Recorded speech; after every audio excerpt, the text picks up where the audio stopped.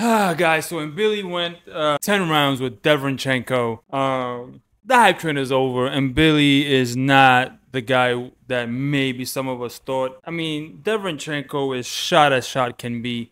I give Derevyanchenko all the props in the world, but before we continue, let's me thank you guys. Not let's let me thank you guys who are new here and stopping by for the first time. Thank you very much for stopping in. Consider subscribing, and if you're current subscriber checking me out again, please thank you for supporting the channel. Um, it's a very small channel. Uh, I took a long hiatus, about two weeks because I moved to a new house. So you see this thing back here, it's terrible. But I'm gonna try to get this little studio going, but it's gonna take me some time. But now let's talk about what's going on. So Mbilli. Mbilli, I thought was looking like a good prospect. You know, looked strong, um, fast, yada yada yada.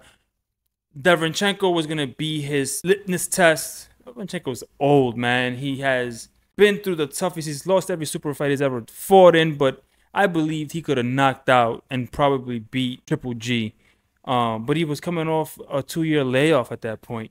Um, kind of ruined his own career in a sense by taking a layoff, fighting no one, jumping right into the fray with Triple G. And then every fight after that was just another super guy, right? He became the gatekeeper, and then that's just what he is now. It was too late for him. It was just too late for Derevyanchenko. And Mbilli should have smoked him out the water. And Billy should have came in here um, and just destroyed Derevyanchenko, but he didn't. He he went 10 rounds with him. Couldn't get him out of there. Maybe he could have, but he didn't.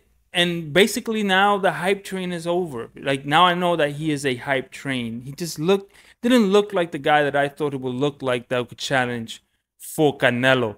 Canelo would easily take him, Billy apart. It wouldn't take much. Um, maybe he's maybe maybe slightly better than Berlanga I would rather see Billy versus Berlanga than Berlanga versus Canelo or Billy versus Canelo. I think um, those kind of fights, those lower tier fights between guys who are hype jobs, have seem seemingly some power um and, and and great like physiques that look like superheroes right? Fight each other and those make for good fights. Those make for good those are great undercard guys that give us something to look forward to before the main event arises. That's what that is to me. Um and so while Billy, you know, I thought was going to be the next big thing out of Canada, it is not going to be that. It, it, it's it, it was kind of upsetting to see. I wanted him to knock out Derevyanchenko and his career, get him out of here, and say, "Hey, thank you for all that you've done and what you could have been, but you never got to because of your own doing." I mean, this guy is old, man. He couldn't get out the way. Even he said it in the post. He just couldn't throw the shot. Derevyanchenko was like, "I saw the shot and could not pull the trigger." That tells you that that man's career is over. And then Billy should have, as a prospect that is going to be next level, next tier superstar, should have got him out of there. No ifs, ands, or buts, and he didn't do that. That was his test. That was the moment where we were going to say, okay, Mbilli, now this is his chance. This is his shot. Caleb beats him. All the upper tier guys beat him.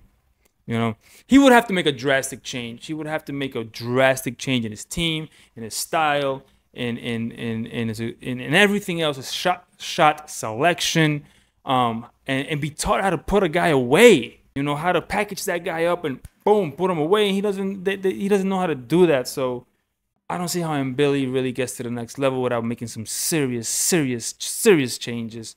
Um, and you know, let's it'd be fun to see if he does make those changes. Um, because if he can, he looks the part. He looks the part. Of course, um, the commentators for the network were drastically just saying, "Oh, Canelo, stay away from him, Billy. You don't want none of that." Blah blah blah blah. What you what do you think Canelo would have done to Derevyanchenko? Okay. So anyway, you know that that's my take on it. I, I, mean, I really thought that I I thought I would see him really come out and be a superstar, and he didn't do that at all. So it just for me that hype train is over with. Um, chalk that up. He'll get a fight somewhere else. And if he goes elite, he'll get exposed. And then it comes down below, what do you think? You do you think that Billy is the next guy up? Or do you think that it's just me overreacting? Or you really think that he's a hype job going, coming up and it was being built to, you know, cash out? And then it comes down below and I'll see you in the next video.